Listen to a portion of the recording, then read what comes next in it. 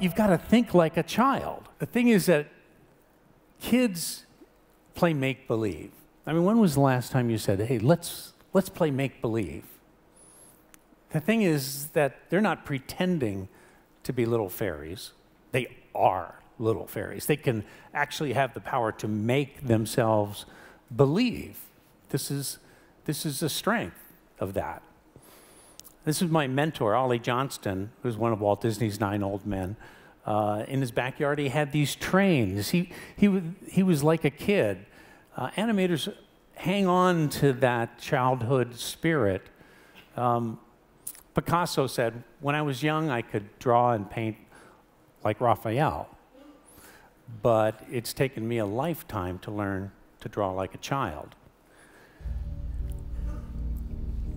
If you watch him draw,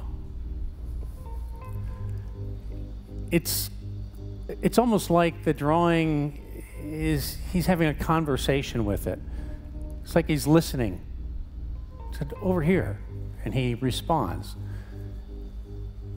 It's very carefree, it's not rushed.